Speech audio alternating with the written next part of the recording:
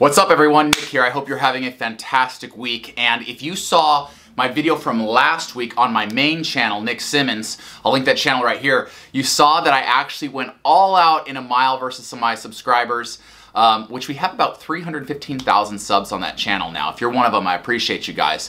Uh, in that mile, I went all out to just barely get under five minutes. I ran four minutes and 59 seconds, which Given that my personal best in the mile is 3 minutes and 56 seconds, you're probably thinking, who cares? Like, a lot of kids can run 4 minutes and 59 seconds or way faster. Well, it's hugely significant to me because it represents my 25th year in a row of running sub 5. Now, I want to tell you about that very first sub 5 minute mile because it set me on a trajectory that would ultimately take me to two Olympic Games uh, and make me the person that I am today. When I was 13 years old, I remember PE class vividly. You know, I, I loved PE class. I know a lot of kids hated it. I loved it because I had a lot of pent up energy and I loved getting out and playing games. And I even loved the mile. We only did it once or twice a year and I had 30 classmates and they all hated the mile, but I loved it. I just loved digging deep and what I really loved is that year after year after year I seemed to be getting faster. You know, and I wasn't great at a lot of sports, but I was really good at running the mile in PE. And I remember at 13, I cracked the five minute barrier for the first time. I ran four minutes and 55 seconds. Now, having run that, some people in my class looked around and said, wow, you're a pretty good runner. I was actually the fastest kid in my class.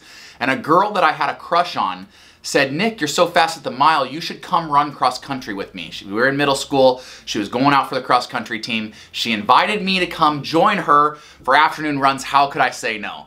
So that's what started my running career, just chasing after the girl I had a crush on, and she had recognized the talent in me in that first sub five minute mile. I went on to run faster. I actually ran 420 in high school, with my best mile in high school.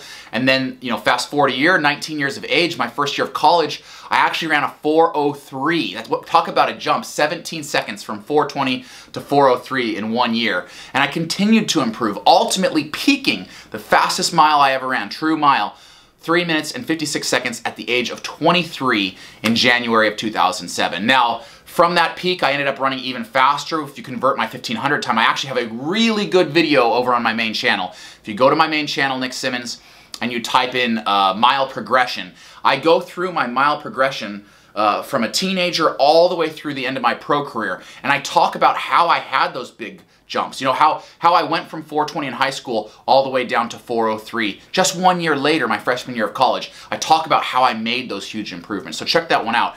But the tragic part here is that at a certain point, you hit that peak and you start coming down the back end of that curve. This old bison's on the back end of that curve, but it's okay because I'm finding so much joy in maintaining that fitness. To be a 37 year old who can still go out and crush a sub five minute mile with the kids makes me feel really incredible. And to be able to give back to those kids the knowledge that I picked up over 25 years of running, it, it's really rewarding. And so um, I don't know how much longer I'll be able to continue this streak. If it dies at the age of 37, I'll be kind of sad. So I'm going to keep training my butt off to continue to push my limits, continue to be that uh, that kid at heart that can still go out and run a sub five minute mile. But when I ran three, when I ran four minutes and 59 seconds the other day, it really just reminded me how incredible this sport is and how it's a lifetime sport. You know, you kids out there, you, you young adults who are putting in the miles, just remind yourself that this is a lifetime sport and as you invest in yourself today, it's going to pay your future self dividends.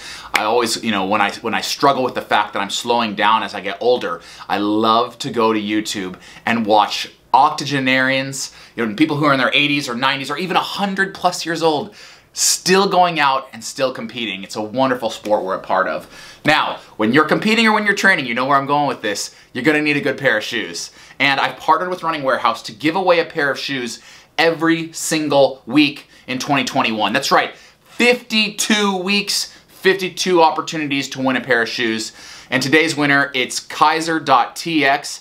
Uh, in his bio here, he says he's a West Coast All-American in the 1500 and the 800, two events that are near and dear to my heart. Kaiser, congratulations. I'll DM you right now. Anyways, I hope you guys enjoyed that a little bit. Make sure you go check out that mile progression on my other channel. See you guys next week.